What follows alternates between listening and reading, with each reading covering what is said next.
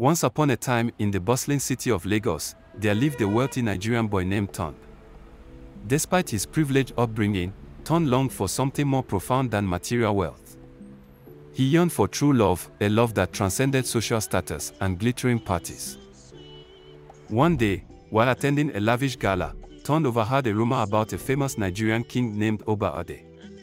The king was known not only for his riches but also for his three beautiful daughters, Ada, Zora, and Ngozi.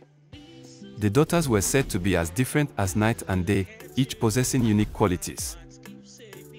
Driven by curiosity and a desire to find love, Ton decided to seek employment at the royal palace. He disguised himself as a humble chef, believing that proximity to the king's family would allow him to observe the princesses closely.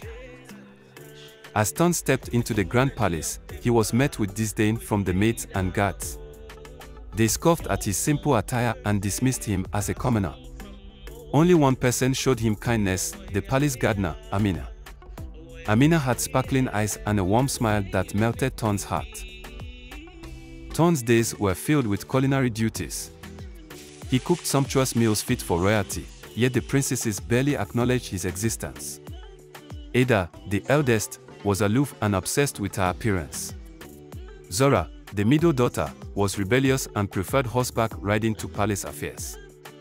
Ngozi, the youngest, was gentle but overshadowed by her sisters. One evening, as Ton prepared a feast for the king's birthday, he accidentally spilled soup on Ada's gown. Furious, Ada berated him, calling him a clumsy fool. Zora mocked him, and Ngozi looked away in embarrassment. But it was Amina who rushed to Ton's aid, wiping the soup off his hands. Her touch sent shivers down his spine. Don't let their arrogance break your spirit, she whispered. True nobility lies in kindness. Ton found solace in Amina's company. They shared stories under the moonlight, and he discovered her dreams of exploring distant lands. Amina was unlike anyone he had ever met, compassionate, intelligent, and free-spirited. As the months passed, Ton's feelings for Amina deepened. He couldn't bear the charade any longer.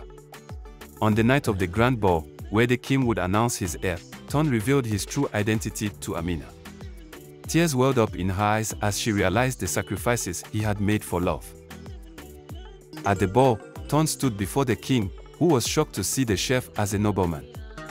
Ton confessed his love for Amina, vowing to marry her regardless of her station. The princesses watched in awe as Ton's heartfelt words echoed through the hall. King Oba Ade, regretting his mistreatment of Ton, embraced him. You have shown me the true essence of nobility, he declared. Amina, my dear, you have my blessing. And so, Ton and Amina's love story became legendary. They traveled the world together, spreading kindness and breaking down social barriers. The princesses learned valuable lessons, and the palace transformed into a place of compassion and understanding. As for Ton, he discovered that true love wasn't found in glittering parties or grand titles, it was in the warmth of Amina's smile and the simplicity of their shared dreams. And so, in the heart of Lagos, the chef's heart beat stronger than ever, reminding everyone that love knows no boundaries. Fade out as Ton and Amina dance under the moonlight, their love story etched into the stars.